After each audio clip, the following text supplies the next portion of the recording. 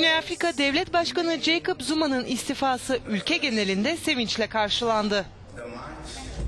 Güney Afrikalılar Zuma'nın kararını ilerlemek için bir fırsat olarak değerlendiriyor. Açıkçası en büyük sorunumuz yolsuzluktu.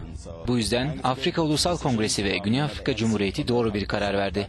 Umarım görev başına gelecek kişi, sivil veya seçimleri her kim kazanırsa ülkemizin gelişmesine katkı sağlar.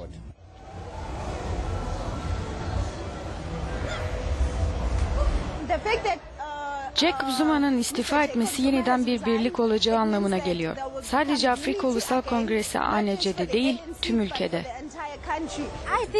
Para birimimizin değer kazanacağını düşünüyorum. Çünkü Cyril Ramaphosa ANC'nin liderliğinde seçildiğinde paramız çok hızlı bir şekilde değer kazanmıştı.